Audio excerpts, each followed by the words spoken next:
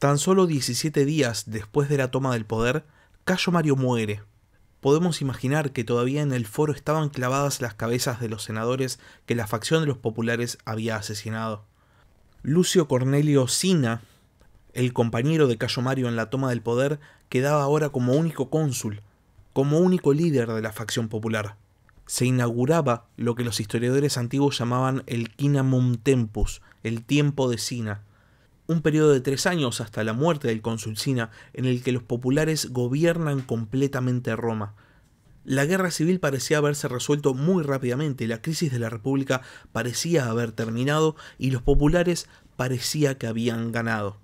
Sin embargo, a cientos de kilómetros combatiendo contra un rey extranjero se encontraba el líder de la facción Optimate, el protagonista de nuestro capítulo de hoy, Lucio Cornelio Sila, un hombre con una sola motivación, restaurar la República, cueste lo que cueste. Sean bienvenidos a la Barba Roja de Barba Roja, un espacio para hablar sobre curiosidades de la historia.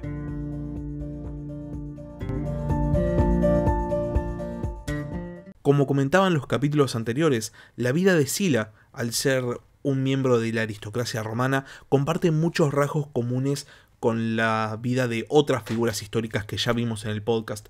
Sin embargo, Sila pertenecía a una generación diferente.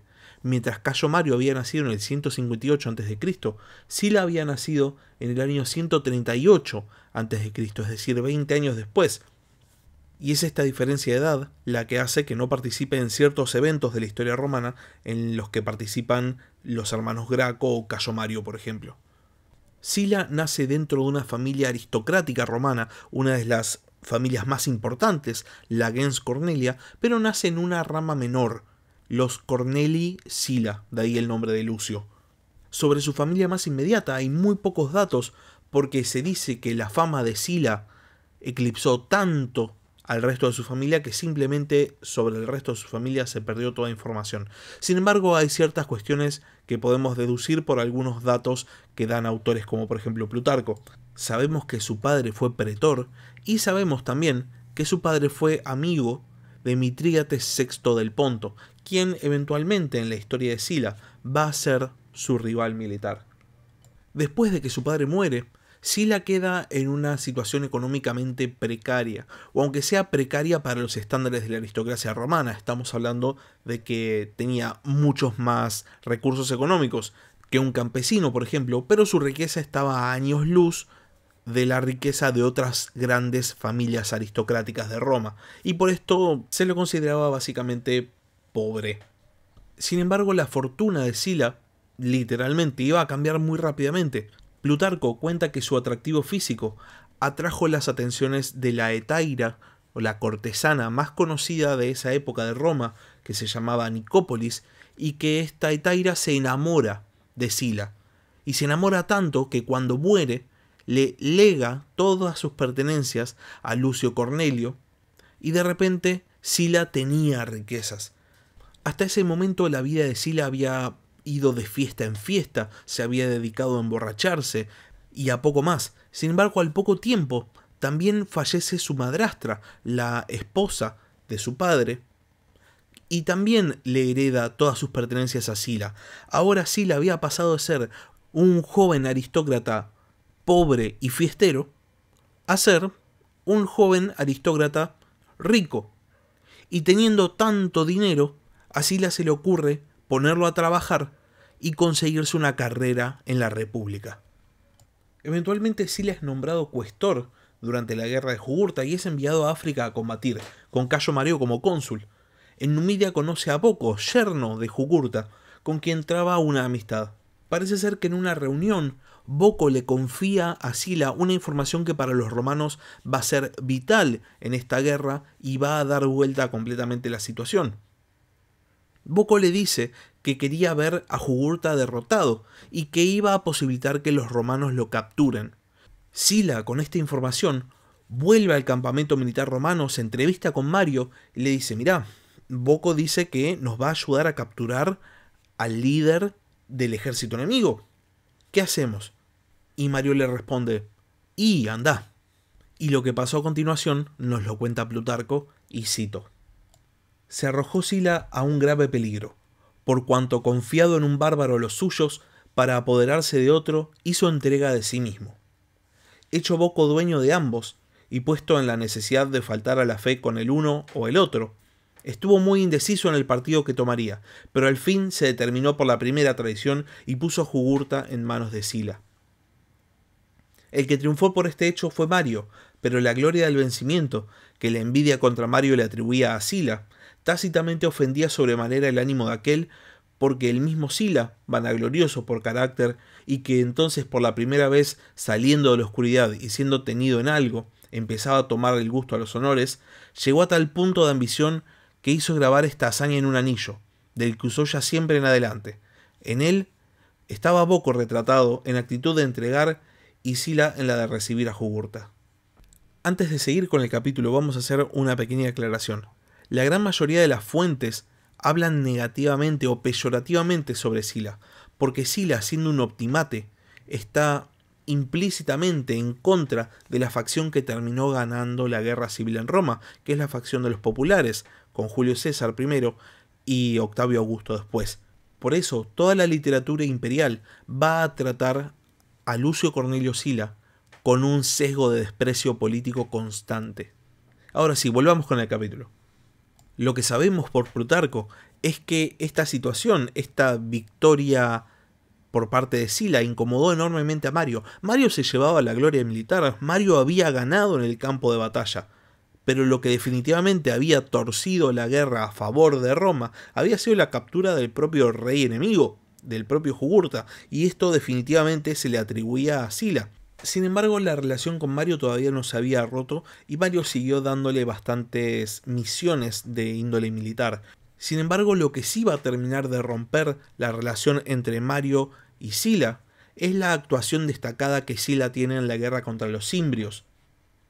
Sila va escalando muy rápidamente en la jerarquía militar y esto incomoda a Mario, al punto que deja de darle misiones, deja de encomendarle cosas viendo que no podía seguir escalando y siendo una persona tan ambiciosa, Sila cambia de ejército y se pone al mando de Cátulo, el otro cónsul romano que también estaba combatiendo en la guerra cimbria.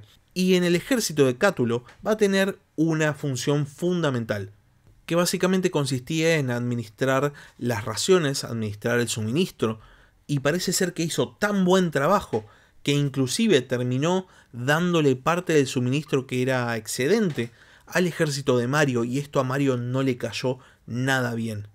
Para colmo, según cuenta también Plutarco, Cátulo era un hombre recto pero de poca disposición para las cosas de la guerra, y por eso gran parte de los movimientos del ejército de Cátulo quedan en manos de Sila. Sila se sigue destacando militarmente, esté o no al mando de Mario, y por eso sigue subiendo y sigue escalando, se transforma rápidamente en una personalidad. Recordemos que en Roma la guerra es la gloria, y toda acción militar positiva, toda victoria que se gane, trae fama y trae honor. De repente Sila era una personalidad, se había destacado en la guerra de Jugurta, había sido el que había capturado a Jugurta y también se había destacado en la guerra Cimbria. Y habiendo cosechado tanta fama, ahora sí se dispone a hacer una carrera civil. En el año 100 a.C., Sila intenta conseguir el puesto de pretor, igual que su padre, pero a diferencia de su padre no lo consigue. Sin embargo, esto no lo desanima y durante varios años se mueve por las sombras intentando comprar voluntades, mover ciertos hilos, hasta que por fin en el 94 a.C. sí consigue el puesto de pretor y al finalizar su mandato es enviado como gobernador, posiblemente con el puesto de procónsul, a la provincia de Cilicia, en el sur de lo que actualmente es Turquía, en la costa mediterránea. Estando en Cilicia, se le encarga la misión de restaurar al rey Ariobarzanes, el rey de Capadocia, que era aliado de Roma y había sido destituido por Mitríates del Ponto y su yerno Tigranes de Armenia.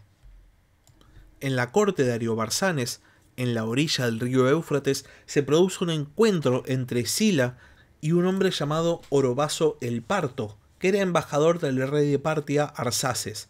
Este es el primer encuentro documentado entre un romano y un parto, Eventualmente estos dos pueblos, en la tardía antigüedad, van a protagonizar una enorme rivalidad militar al ser los dos más grandes imperios de la zona. Y es muy interesante lo que hace Sila en este momento. Sila arregla un encuentro entre Ariobarzanes, Orobaso y él y pone tres sillas. Él se sienta en la del medio y lo sienta a los otros dos en la de los costados. La silla del medio era el lugar de honor. A la vuelta de Orobaso a la corte de los partos, el rey Arsaces monta en cólera, se enoja y lo mata. Había sido enorme el deshonor de esta reunión. Por otro lado, Sila cosecha aplausos y felicitaciones por su gran jugada política. Cuando a Sila se le termina el mandato de gobernador, vuelve a Roma, y en Roma lo esperaba Cayo Marcio Censorino, un seguidor de Cayo Mario, para acusarlo de corrupción. Claro, todo el mundo en Roma había escuchado de esta reunión entre Sila, Ariobarzanes y Orobaso, y la facción popular, la facción de Cayo Mario, aprovechó para acusar a Sila de estar recibiendo dádivas, de estar recibiendo sobornos o de estar recibiendo algún regalito por parte del rey de Capadocia. Sila se presentó al juicio, pero Censorino no se presentó, ni siquiera fue a defender su propia acusación, dejando así básicamente abierta la acusación los populares siguieron usando esta acusación contra Sila, pero nunca tuvieron, digamos, la valentía de resolverlo en la justicia. Lo interesante de este hecho no es que no se haya resuelto, sino la propia acusación. Había una efervescencia política, una rivalidad enorme entre las dos facciones que llegaba al punto de acusar libremente al otro, de querer llevarlo a un desprestigio más allá de no probarlo. Y esta discusión, esta división política, esta grieta, se va a agravar todavía más producto de un regalo que recibe Roma por parte del ahora rey aliado de Numidia, Boco, quien había entregado Jugurta. Boco dona un conjunto de estatuas y en Roma este conjunto de estatuas se instala en el Monte Capitolino, en un lugar de honor. En estas estatuas estaban representados Boco, Sila, y Jugurta siendo tomado prisionero. El que no estaba era Cayo Mario. Los populares se tomaron este gesto como un insulto y se desataron disturbios entre las dos facciones políticas. Sin embargo, lo que parecía ya una hostilidad abierta entre las dos facciones que iba a decantar inevitablemente en una guerra civil va a tener que esperar, porque ese mismo año, en el 91 a.C., inicia la guerra social. Los aliados itálicos de Roma se rebelan y declaran la guerra a la urbe. Sila obtiene grandes triunfos como legado, entre ellos, el más famoso es una batalla ante los muros de Pompeya que termina en una victoria decisiva para los ejércitos romanos, y por esta victoria Sila obtiene una corona gramínea, que era la máxima distinción militar que entregaban los romanos, el más grande honor. Sila va a ser el encargado de dar los golpes más decisivos del ejército romano contra los ejércitos enemigos, básicamente llevando a la guerra hacia una victoria romana definitiva y obviamente en el proceso también acrecentando su fama y por ende su apoyo político. Y de esta manera, en el año 88 a.C., el mismo año que termina la guerra social, Sila es nombrado cónsul. Consigue el consulado junto a Quinto Pompeyo Rufo, y de esta manera Sila obtenía el mando de las tropas que iban a ir contra Mitrídates del Ponto, mientras que Pompeyo Rufo se quedaba en Roma encargado de las tareas civiles o del gobierno, mejor dicho. Ese mismo año, Sila se casa con Cecilia Metela, sobrina de Quinto Cecilio Metelo, el cónsul que había apadrinado primero la carrera política de Cayo Mario y que después Cayo Mario había traicionado. Este matrimonio era toda una declaración política. Ahora Sila era el que estaba asociado al clan Metelo y también conseguía de esta manera toda la influencia política que los Metelos tenían. Todo parecía encajar en la vida política de Sila. Sin embargo, este va a ser el año también del inicio de la gran debacle que va a culminar en una guerra civil. Mientras Sila estaba yendo a encontrarse con sus tropas para viajar a Asia para combatir a Mitrídates VI del Ponto, los populares hacen su jugada política. El tribuno de la plebe, Publio Sulpicio Rufo, conocido por haber sido un gran miembro de los optimates, había decidido cambiar de bando y se había aliado con los populares de Cayo Mario y ahora era el más radicalmente fanático popular. y estaba dispuesto a todo por su propia facción política. Dentro de esta alianza que hace con Cayo Mario, deciden que el tribuno de la plebe va a vetar el nombramiento de Sila como comandante de las tropas que van a combatir a Mitrídates y va a nombrar a Cayo Mario en vez de él. Sila se entera de esta situación y rápidamente le dice a sus tropas, che, miren que si es nombrado Mario, los va a reemplazar a todos y va a poner a sus propios soldados. Recordemos que este ya era el ejército post reformas de Mario y por ende ya era el ejército más personal, debían más lealtad al general. Los soldados de Sila piensan, si me reemplazan, yo no voy a poder conseguir el botín que conseguiría si voy a la guerra, por ende no me pueden reemplazar, yo tengo que ir a la guerra. No pueden nombrar a Mario, tiene que quedar Sila. Y cuando van a anunciar la noticia a los enviados del tribuno de la plebe, los reciben a piedrazos. Y después de este hecho, Sila, viendo que la situación política en Roma se había desvirtuado completamente en el poco tiempo que él no había estado, decide, en vez de viajar a Asia, dar media vuelta y llevar a sus ejércitos hacia Roma. La anécdota cuenta que mientras estaba yendo hacia la urbe, el Senado le envía emisarios para preguntarle qué está haciendo. Y Sila, cuando se los encuentra, responde, voy a eliminar los tiranos de la patria, y encara hacia Roma.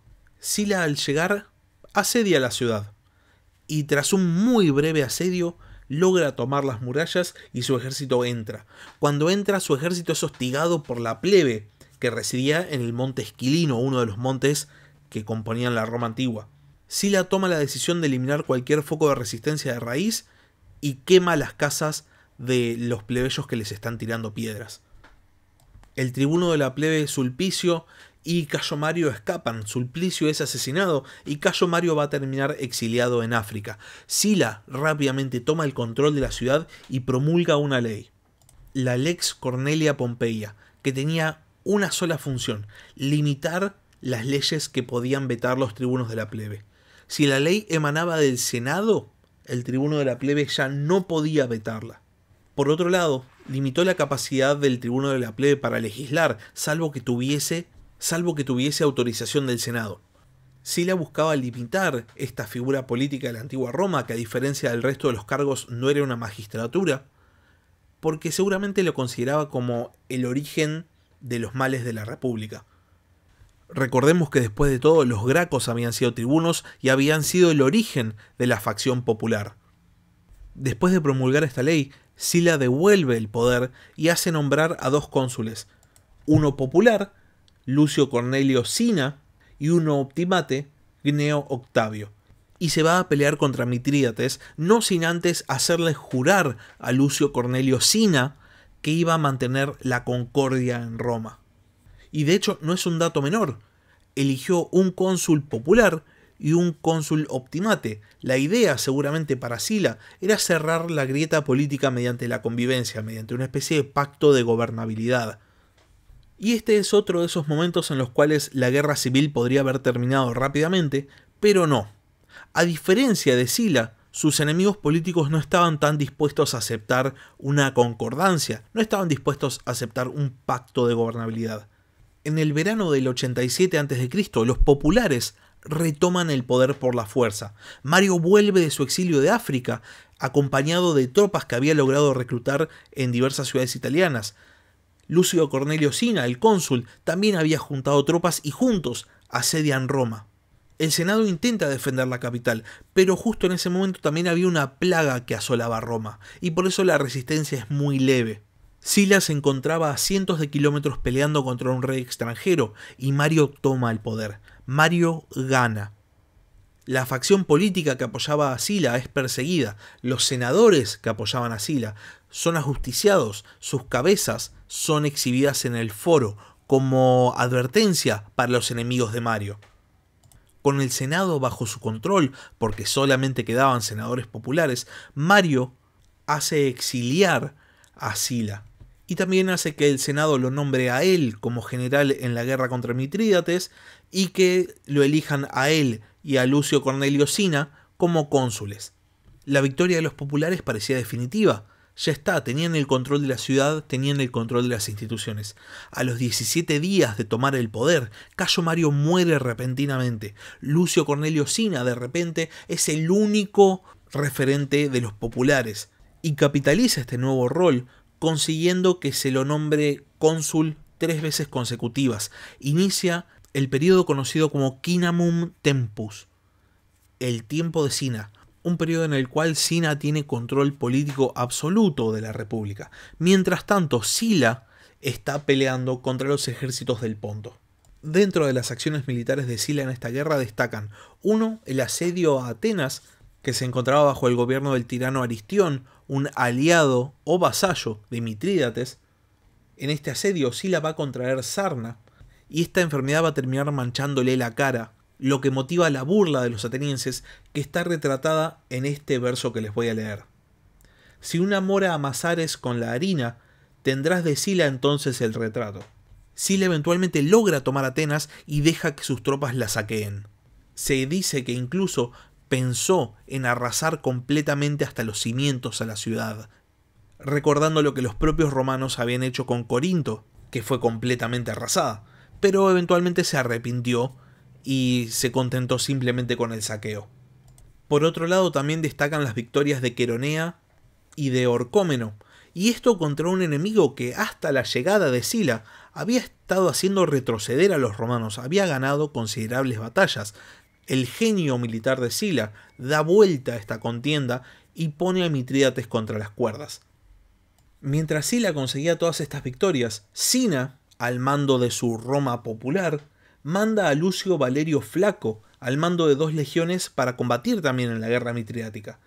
Cuando estas legiones llegan a su destino, el segundo al mando de Flaco, Cayo Flavio Fimbria, provoca un motín que termina con la muerte de Flaco y asume el mando. Fimbria derrota a un ejército póntico en Eolia y después se dedica a saquear Asia, la provincia que era propiedad de Roma hasta la guerra mitriática. Fimbria se acerca a la ciudad de Ilión, Troya, y anuncia que como romano era un amigo y aliado de la ciudad, y una vez que lo dejan entrar, mata a todos sus habitantes y reduce Ilión a cenizas. Sila, que estaba bastante cerca, firma una paz apresurada con Mitrídates, una paz por compromiso. En esa paz, Mitrídates simplemente devolvía las tierras que había conquistado los romanos y pagaba algunas reparaciones. Podemos especular con que jugó la vieja amistad del padre de Sila con Mitrídates para inclinar la balanza a favor del rey del Ponto? No lo sabemos, pero la cuestión es que Sila estaba mucho más interesado en combatir a Fimbria que en proseguir la guerra contra el rey del Ponto. Así que firma esta paz apresurada y se dedica a buscar a Fimbria para combatir. Iniciaba acá la primera guerra civil romana. Sila y Fimbria se encuentran en Tiatira. Después de una muy breve negociación que termina en fracaso, Fimbria, viendo que el ejército de Sila era mayor y estaba mejor preparado, viendo que sus propias tropas tenían muy baja moral y que encima estaban desertando en masa hacia el bando de Sila, decide suicidarse. Así terminaba el primer asalto de la guerra civil, con solo un muerto. Sila aprovecha este momento y se queda un tiempo en Asia reorganizando las posesiones romanas. Mientras tanto, en Roma, Sila había sido condenado a muerte in absentia, o sea, a muerte en ausencia, mientras que sus propiedades eran arrasadas y todos sus conocidos y parientes fueron forzados a huir. El gobierno que Sila había creado ya no existía. Atrás había quedado el juramento de concordia que había pronunciado Sina. Sila, enterándose de esto, decide enviar una carta al Senado. Envía un mensaje a sus enemigos políticos. En esa carta, Sila enumeraba sus servicios a la República, reprochaba el accionar de sus adversarios políticos y por sobre todas las cosas juraba venganza. El Senado decide enviar a su máximo representante, Lucio Valerio Flaco, sí, el mismo nombre, pero es otro, así que este va a ser Flaco el senador. Mandan a Flaco el senador a que negocie con Sila y mientras están en negociaciones, los cónsules Sina y Papirio Carbón empiezan a preparar las tropas. Sila acepta negociar con Flaco el senador y propone sus términos. Sila no se va a reconciliar con sus enemigos, se niega a disolver su ejército, pero dice que no se va a oponer si el Senado quiere perdonar a sus enemigos políticos por sus crímenes. También exige la restauración de su posición y de sus bienes. Mientras esta negociación entre Flaco el senador y Sila se va desarrollando, Sina el cónsul muere en un motín. Las negociaciones se cortan en seco y Sila se dispone a volver a Italia con sus tropas. Con su máximo referente político muerto, el gobierno popular empezaba a tambalearse. En el año 83 a.C., Sila desembarca en Italia al mando de un ejército de unos 40.000 soldados. Lo enfrentan el cónsul Carbón y Mario el Joven, el hijo de Cayo Mario, que eran los sucesores políticos de Sina. Estos dos bandos se enfrentan en una serie de combates entre el año 83 y el año 82 a.C., en lo que se conoce como la Primera Guerra Civil Romana. Sila tenía menos soldados y sin embargo gana una serie de batallas importantes hasta que por fin en el año 82 a.C. Sila gana la decisiva batalla de la Porta Colina frente a los muros de Roma, capturando a unos 12.000 populares y encarcelándolos en el campo de Marte. De estos 12.000 prisioneros, 3.000 van a ser asesinados. Las crónicas cuentan que los gritos de esta masacre llegan hasta el Senado y los senadores preguntan a Sila qué estaba pasando, a lo que él responde no se preocupen, son solo mis soldados cumpliendo mis órdenes. En los meses siguientes, la facción de Sila logra tomar los últimos reductos de resistencia popular en Italia, y de esta manera, habiendo asumido el control de la República, Sila gana la Primera Guerra Civil. En Roma no había gobierno. Carbón había huido a África y Mario el Joven se había suicidado, y por eso Sila decide convocar una reunión del Senado en el templo de Belona. Y seguramente los senadores pensaron que quería asumir el consulado, quería ser nombrado cónsul. El Senado nombra a Flaco el senador como interrex con el fin de convocar elecciones. Sin embargo, Sila se acerca a Flaco el senador y le dice que él no quería ser cónsul. Lo que quería era reordenar la república y le sugiere que retome una antigua institución de la República Romana, bajo la cual él podría llevar a cabo sus metas políticas, la dictadura. ¿Por cuánto tiempo querés que te nombremos dictador? le preguntó Flaco el senador. El tiempo que necesite para reordenar la República, le respondió Sila. Flaco el senador promulga entonces la ley llamada Lex Valeria de Sula Dictatore, para nombrar a Sila dictador para la promulgación de leyes y para la organización del Estado. Los comicios centuriados aprueban la ley y el Senado la ratifica, convirtiendo así a Sila en el dictador de Roma, que era básicamente a fines una especie de rey sin corona. Sila, sin embargo, mantiene en apariencia, aunque sea las instituciones republicanas, y convoca elecciones para los puestos de cónsul. En estas elecciones, de todas maneras, misteriosamente ganan dos de sus oficiales, Neo Cornelio Dolabella y Marco Tulio Décula. Y después de reinstaurar el consulado, lo que hace es celebrar un triunfo por su victoria sobre Mitrídates. De este triunfo lo que dicen las fuentes romanas es que fue el más fastuoso que Roma hubiese visto hasta el momento y lo destacan como una especie de divinización de la figura del dictador. Y poco después adopta oficialmente el sobrenombre de Félix y adopta también una serie de honores que se atribuye básicamente a sí mismo. Sila se veía posiblemente como el restaurador de la República y va a actuar en consecuencia políticamente hablando. Empieza proscribiendo a decenas de senadores y a cientos de equites persigue a los seguidores de Mario y confisca una enorme cantidad de propiedades. En total, más o menos se habla de 80 senadores, 1.600 equites y 4.700 ciudadanos muertos o exiliados a lo largo de la dictadura de Sila. Las matanzas, la purga, cesa oficialmente el 1 de junio del año 81 a.C. Al margen de la persecución política, Sila también emprende una serie de reformas a las instituciones republicanas con el fin de apuntalar a la república que básicamente se estaba muriendo. Para empezar, eleva el número de senadores de 300 a 600, incluyendo a los equites, esto con el fin de rebalancear las fuerzas políticas que habían quedado completamente desbalanceadas después de las purgas primero de Mario y las purgas del propio Sila después.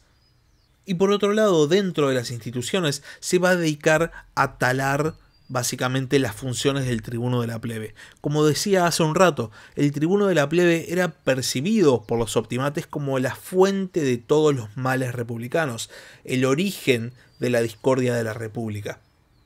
El tribuno de la plebe, bajo el dominio de Sila, perdía su capacidad legislativa, los tribunos perdían la capacidad de acceder a las magistraturas de la república, es decir, que no podían ocupar otros cargos que no fuesen el tribuno de la plebe, se los privaba de su derecho a veto y ya no podían ser reelegidos.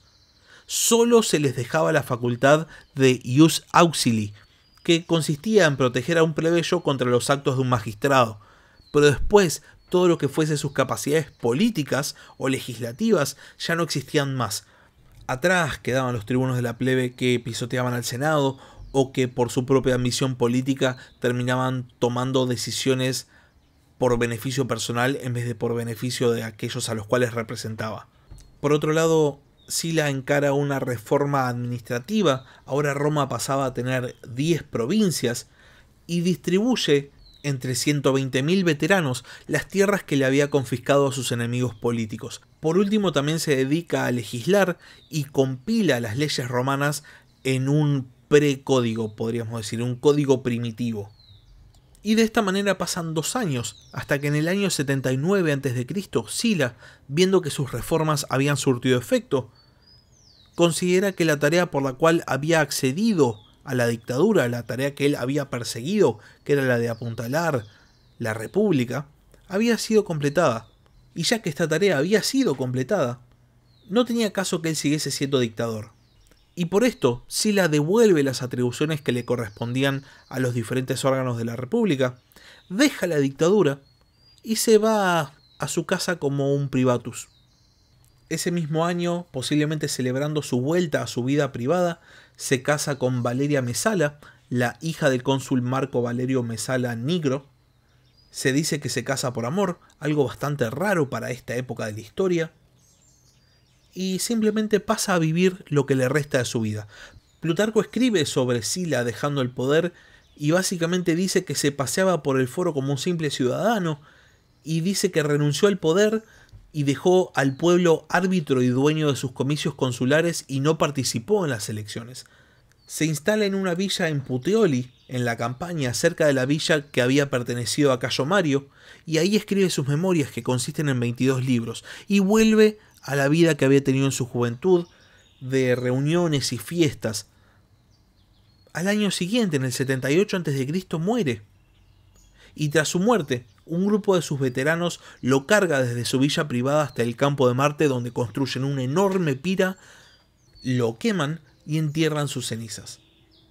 Y así termina la historia de Lucio Cornelio Sila, el dictador romano que tenía el poder absoluto sobre la principal potencia de su época y simplemente devolvió el poder y se retiró a vivir lo que quedaba de su vida tranquilo. Sila consideró que el poder tenía una utilidad, en su caso, la utilidad era deshacer todo lo que la facción popular había construido. Y una vez que vio las instituciones republicanas restauradas, simplemente dio un paso al costado y se fue a vivir su vida. Eventualmente Sila va a tener la mala suerte de haber estado en la facción que termina perdiendo la guerra civil romana. Y por este motivo va a ser demonizado durante muchos siglos. Sin embargo, más allá de la mala prensa que tenga Sila, hay una lección que es muy importante destacar. El poder tiene una utilidad, y cuando esa utilidad se pierde, el poder es inútil. ¿De qué sirve perpetuarse en un gobierno? ¿De qué sirve perpetuarse en una posición de poder cuando no se está cumpliendo una función? Cuando se culmina el motivo por el cual uno accedió al poder, uno simplemente tiene que dar un paso al costado y dejar acceder a esas instituciones o a esa posición a alguien que tenga nuevas ideas. Porque lo que uno quería hacer ya está hecho. El poder, simplemente por el hecho de poder, es un vicio, es una adicción. Cayo Mario fue adicto al poder y casi destruyó la república a la que quería gobernar. Sila, por otro lado, utilizó el poder y una vez que ya cumplió su función, simplemente lo devolvió. Y hasta acá llegamos con el capítulo de hoy. Si tienen alguna duda, si tienen alguna consulta o simplemente tienen algún comentario, pueden escribir a la barba roja de barbarroja.gmail.com o pueden escribir un comentario en YouTube. También pueden escribirme un tweet, eh, pueden seguir el Twitter del podcast, arroba barbarrojacast. Y ya que estamos también, pueden suscribirse al podcast en YouTube o en Spotify. Es algo que me ayuda un montón. La mayoría de ustedes no están suscritos, así que si pueden suscribirse, se los agradecería un montón. Muchas gracias por haber escuchado y hasta la semana que viene. Gracias por escuchar La Barba Roja de Barba Roja. Si tenés algún comentario, si tenés alguna pregunta o simplemente tenés algo para decir, podés escribir un comentario en YouTube o bien podés mandar un mail a la barba roja de Hasta la próxima.